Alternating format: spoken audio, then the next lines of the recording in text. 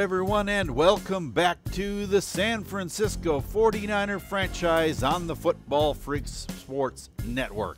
I'm Husker Eurocat, and it's time once again for more Madden football. Last weekend saw the last game of the regular season with the 49ers playing the New York Giants in MetLife Stadium. The Giants needed a win in this game to have any kind of a chance at a playoff berth despite having a 6 and 9 record. Just shows you how the rest of the division was doing as well. New York gave it all they had. Well, for the first two and a half quarters anyway. And then the 49ers showed some dominance in the game, finally putting an end to the Giants' hopes with a score of 41 to 24. This week, the 49ers, after a first round bye, are hosting the Minnesota Vikings in Levi Stadium. The Vikings edged out the Lions in the division race and are coming off a win at home against those Lions in last week's wild card round. The Vikes under head coach Mike Zimmer have a seriously tough defense, and it'll be all that the 49ers can do to move the ball in this game. They're hoping they can run the ball against a rush defense that hasn't lived up to its hype, but then again, the rush is not the 49ers' bread and butter. How will they stack up after having a Cinderella regular season?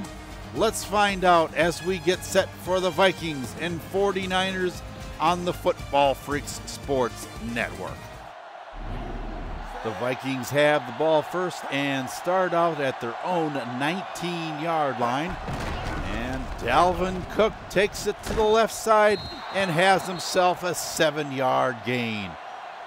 Second down. And three yards to go. Bridgewater goes over the middle long, and it's incomplete. Knocked away by Rashard Robinson. Third down. And Bridgewater again gets hit before he gets rid of the ball. And it's 49er football. Malcolm Smith getting to him, and he has put in an outstanding season so far. And Juszczyk gets the first down grab and is out to midfield for a first down.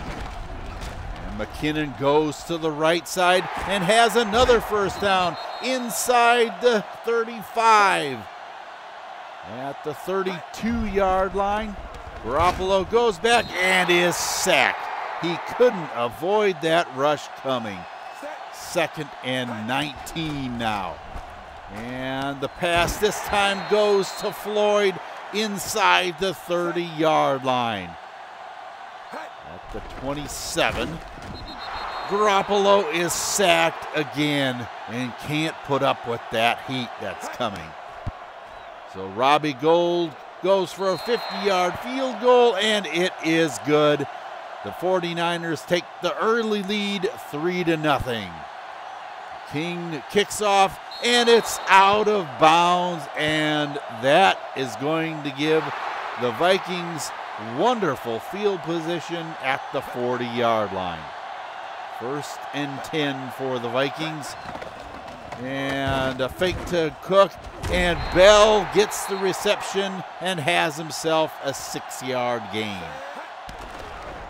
Bridgewater now throws to Thielen and ease over the 50 yard line at the 47, giving the Vikings another first down.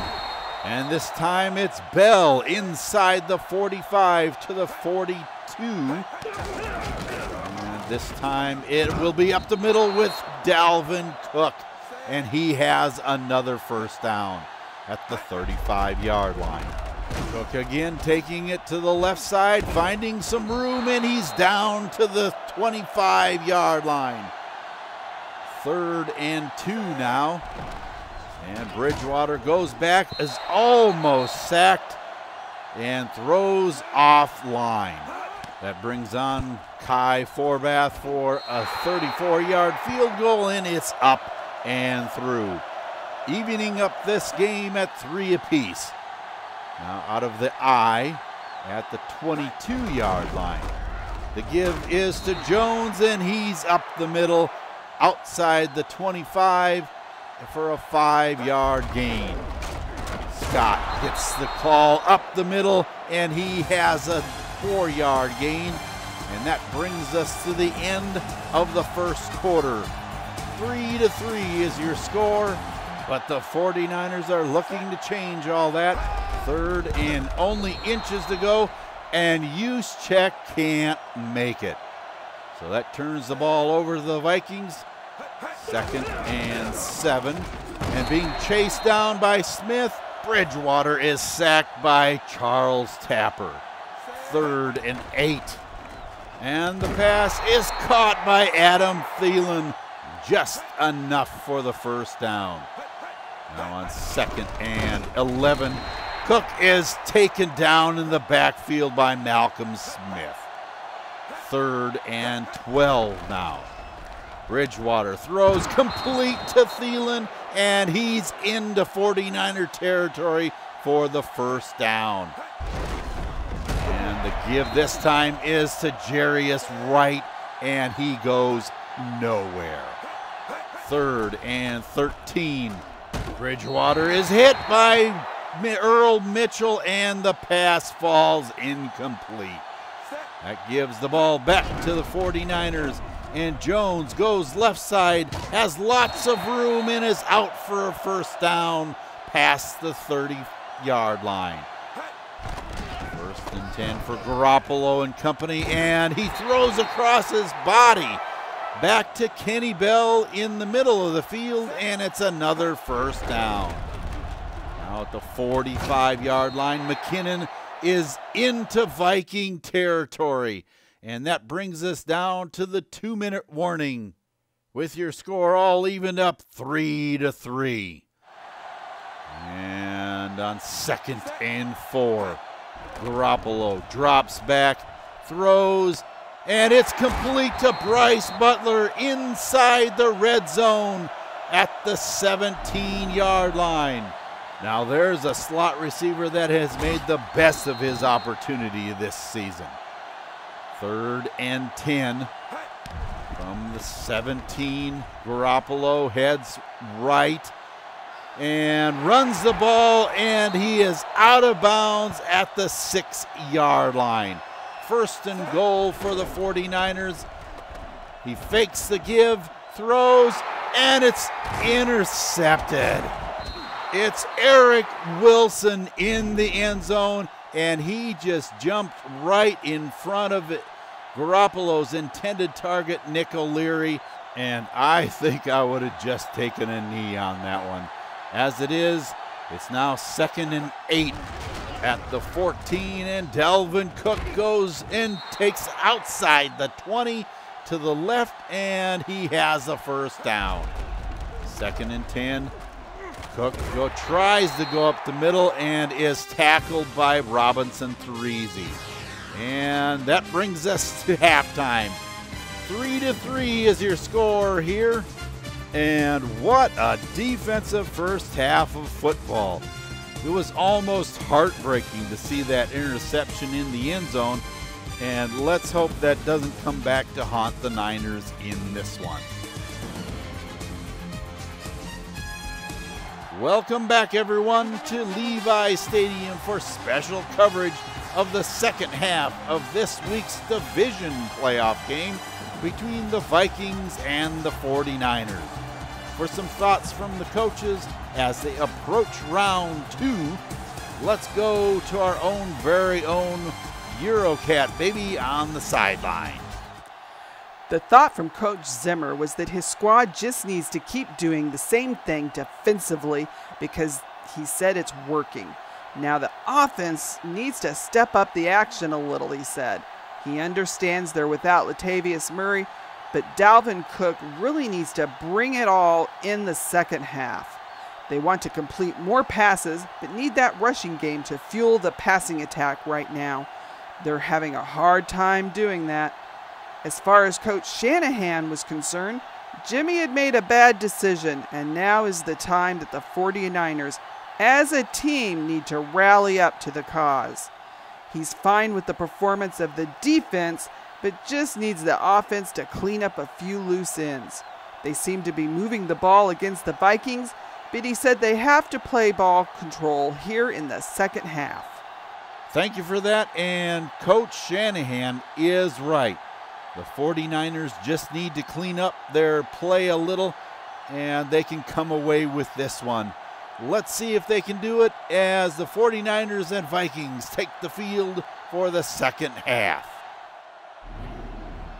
The 49ers start this one out at the 32. Garoppolo has McKinnon in the backfield. He gets the ball and is out past the 40 yard line for a nine yard gain. And with just inches to go, Tayshawn Jones barely gets the first down up the middle. Now on first and 10, with the fake to McKinnon, Juszczyk makes the reception out of the backfield and has a seven yard gain. Second and three. Garoppolo goes long. A wide open Lester Jordan, and he's into the end zone. Touchdown 49ers.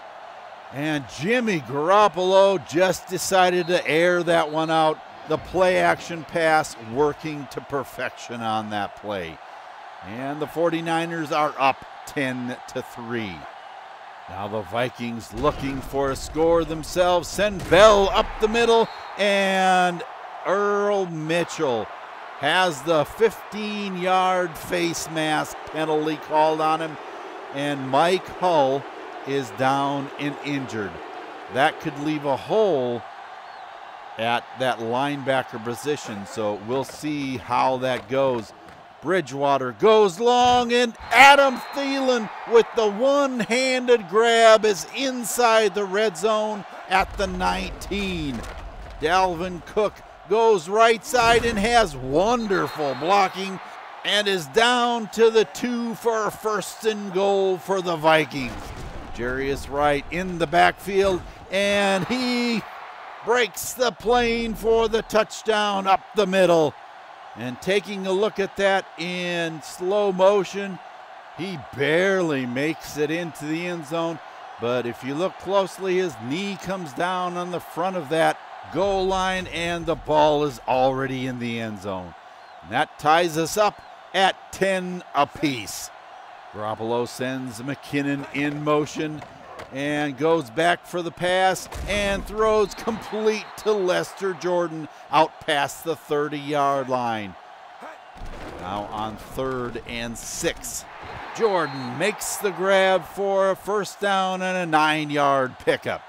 With Jones in the backfield, Garoppolo heads right, throws, and it's dropped by Kenny Bell. And that gives the ball back to the Vikings. Bridgewater gives to Cook up the middle, and he has a first down just outside the 30 yard line. Out of the I. He throws complete to Kyle Rudolph over the middle, and Rudolph is down and injured. Grabbing his hand as he walks off the field, that could impact the middle of the field for the Vikings. Wright goes right, and he is into 49er territory. Second and inches to go. Bridgewater throws to Adam Thielen over the middle. And that brings us to the end of the third quarter with your score 10 to 10. This ball game all knotted up, but the Vikings are on the move. Third and nine, and it's incomplete batted away by Earl Mitchell. And Kai Forbath comes on for a 55 yard field goal, and it barely makes it over the crossbar. And it's 13 to 10 Vikings. Out of the I formation at the 25. The throw across the middle to Bryce Butler for a nine yard pickup. Third and inches, and Juszczyk has the first down up the middle for a four yard gain. Third and 13 now. Garoppolo throws long into double coverage and it's incomplete. And after a three and out from the Vikings, Garoppolo going for it again, and he has Lester Jordan inside the 20 yard line down to the 17. First and 10 for the 49ers, and Ted Scott goes to the right, and he battles hard, and he is inside the 10, down at the five yard line for a first down and McKinnon gets caught in the backfield. A two yard loss, second and goal. Garoppolo running to his right and looking looking. Oh, and he got hit. Anthony Barr laid him out, and he is down and injured. Holding his right arm as he walks off the field, and that could be devastating. Brian Hoyer comes on and backpedals and throws into the end zone, complete to Bryce Butler. Touchdown 49ers. So Brian Hoyer comes in for play, and all he does is throw a touchdown. 17 to 13, San Francisco is on top. Can the Vikings come back and score a touchdown of their own? And Cook goes up the middle for a five yard gain. Second and five now. Bridgewater decides to run it himself, has lots of room up the right side and is out past the 40 yard line for a first down. And that brings us to the two minute warning with your 49ers having a four point lead, 17 to 13. And with an update, let's go to the sideline with Eurocat Baby. An update first on Kyle Rudolph that went out in the third quarter with an injury to his hand. They're hoping that this is just a hyperextended thumb on his right hand, but it's impacting his ability to catch the football. So taking his place on the field for the rest of the game is third year man David Morgan. For the 49ers, Jimmy Garoppolo has suffered a dislocated elbow and will not be returning to this game. His status is unknown at this point if the Niners make it into next week's NFC Championship game. For now, it'll be up to Brian Hoyer to take them the rest of the way at quarterback. Oh, that's not good at all. Let's just hope Hoyer has what it takes to take the 49ers the rest of the way because the Vikings are on the move here. And Bridgewater gives to Bell up the middle, and he's out past the 45, out to the 48 yard line. Third and five, and Treadwell gets his first reception and is in the 49er territory. Now, first and 10 from just inside the 40 yard line. Bridgewater throws to Wright and he has the ball inside the 25 for Viking first down. From the 23 yard line in the hurry up offense, Bridgewater throws to Jarius Wright inside the 20, and he is tackled at the 18.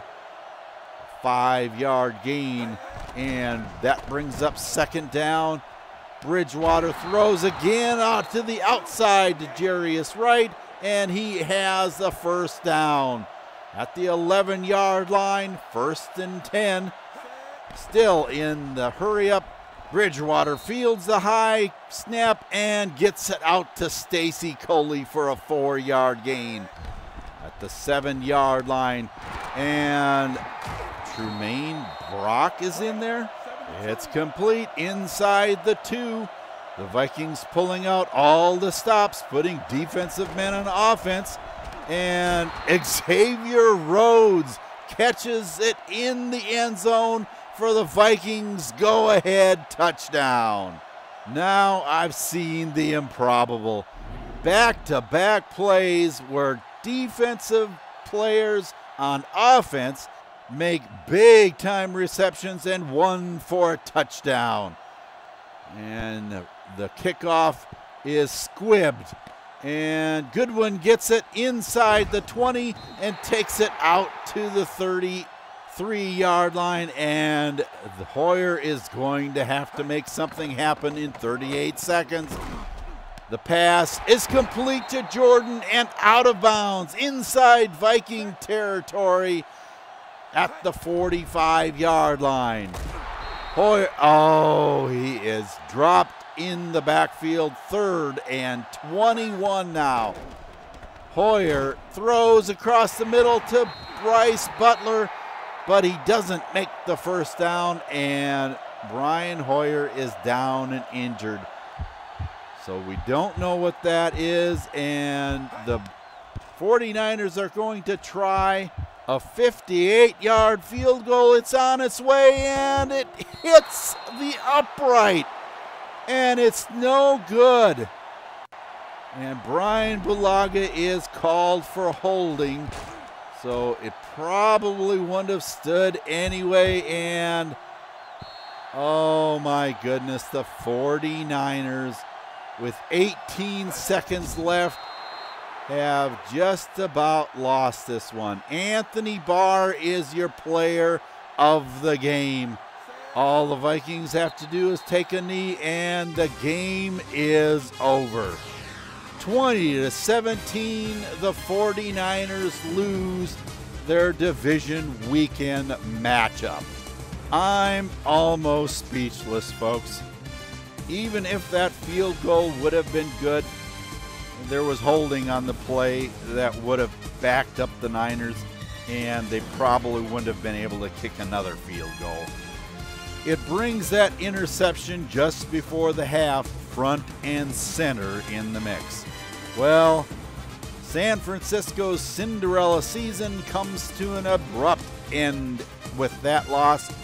But look at the bright side. Kyle Shanahan has been able to turn the program around in only two seasons. And that with losing a lot of up and coming talent in our last offseason. I guess the big question is can the 49ers have a good offseason and come back stronger next season? Time will tell, I guess. For this week's game, it seemed like each team figured out what to do in the second half. For the Vikings, it was Dalvin Cook. And that rushing game, it was something else. The 49ers, it was the passing game. Both Garoppolo and Hoyer did good as far as completion percentage, but like I said, it would have been nice to have that pick back at the end of the first half. I think it would have helped things a lot if Kenny Bell could have hung on to the ball. It would seem that in the offseason, the coaches are going to have a lot to think about. You have Bell, Butler, Floyd, and Janis coming back off injury, and any of them would be good in the slot. If they could get another wideout with Jordan's speed, look out come practice camp. There's definitely some work that can be done on the O line with an aging left tackle and the right guard position not very strong at all. We need to look at some options so that at the start of next season, we'll have a much stronger offensive line. I can't really fault the defense today. That last drive was the only thing that looked a bit out of sync. But if we can keep our guys happy through the letdown of this game and the rigors of the off season, we should be seeing a pretty good returning defense. We probably need to start adding some depth on the defense since the starters are pretty solid aside from the safety position that may need a little attention as well. Now, let's take a look at how the rest of the playoffs went and who our Super Bowl winner ended up being this season. The results of divisional weekend were kind of predictable, except for the 49er loss, that is. the Bills lost to the Jags, and even though the Cowboys lost to the Panthers, I think they had a good postseason with a convincing win over the Seahawks and a tight loss to the Panthers. Then come the Bungles. With this loss, that makes eight one and duns in the last 14 seasons. It's nice to make it to the playoffs, but let's hope the 49ers don't follow their lead. The Pats move on in convincing fashions, as well as the Vikings, of course. So that gives us the Pats and Jags at Everbank Field and the Vikings traveling to Charlotte to play the Panthers. We just need to add in there that once again the wild card teams have now been eliminated from the mix. It's pretty tough if you're a wild card team. Here are the, the results from the conference championship games, though. We have the Jags and the Panthers meeting in the Super Bowl. Neither one of these games was what you would call tight, but look at the Panthers Vikings game. The Panthers, oh, they blanked the Vikes. And in this game, the Panthers found a way to completely neutralize the rushing game of the Vikings leaving them a one dimensional team that made it easy for the Panthers to dominate. So, Super Bowl 53 will be the Jacksonville Jaguars and the Carolina Panthers in the new Mercedes Benz Stadium in Atlanta, Georgia. And the winner is the Carolina Panthers in a squeaker. If you take a look at the box score of this game, it was like two completely different teams met in the second half. Remind you of a recent real life Super Bowl? the Panthers came alive in the second half and, with the aid of two picks and a fumble recovery, took control of the game. Up next for the 49ers franchise is either the Pro Bowl which I'm having some issues getting Camping World Stadium to cooperate, or the off-season schedule. I know I'll know shortly what I can do, but I'm hoping to bring you coverage of the Pro Bowl, so let's hope I can get it working correctly. Either way, it's been a pleasure bringing you coverage of the San Francisco 49er franchise for the second season here on the Football Freaks Sports Network. Please keep in mind that if you enjoyed this video, leave a like so that others can enjoy it as well. And if you would like to be notified when there is a new one, simply subscribe by clicking on my icon at the end of the video. Hopefully I can get this Camping World Stadium working and I'll see you from Orlando.